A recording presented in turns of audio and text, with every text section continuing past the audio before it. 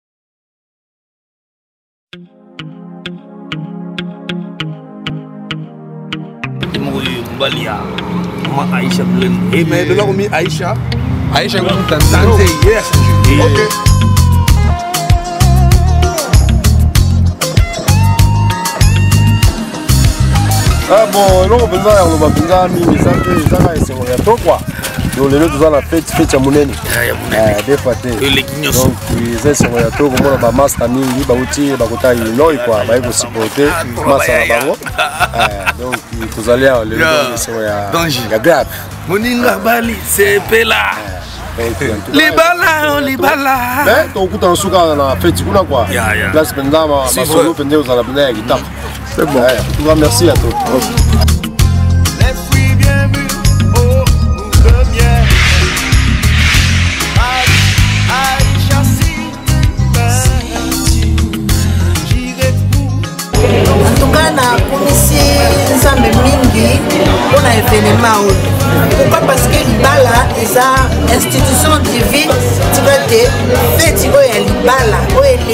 mabala nyonso parce que feti oyo ezalaka deux fois te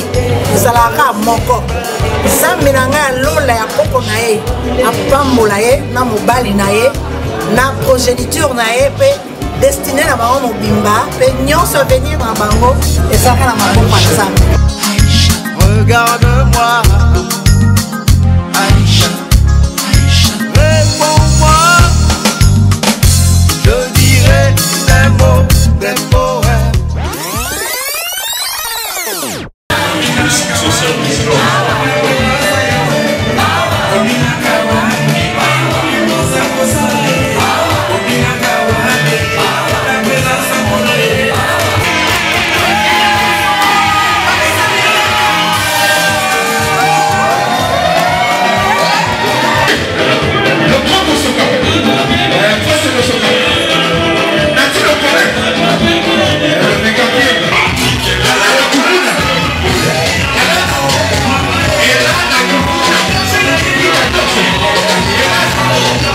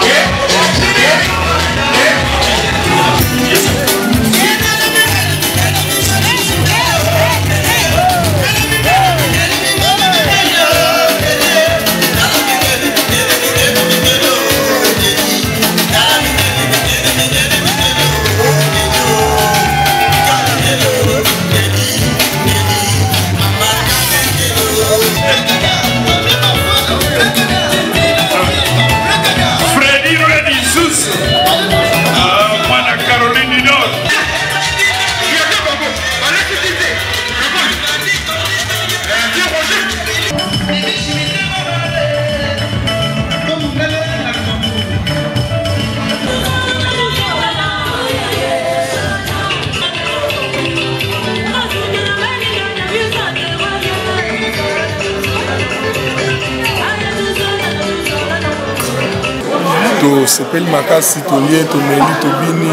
nyonso totika na maboko ya nzambe ya mposa eleki bien sikoyo nzambe kaka abatela kozonga ya moko na moko bazonga bien bao bautaki mosika neti bao tozala na bango na illinois bayaki ya na charlotte donc bazonga bien bamosusu badrive badrive pe bien donc euh, merci na bino nyonso donc na nyonso eleki bien quoi merci Thank you, uh,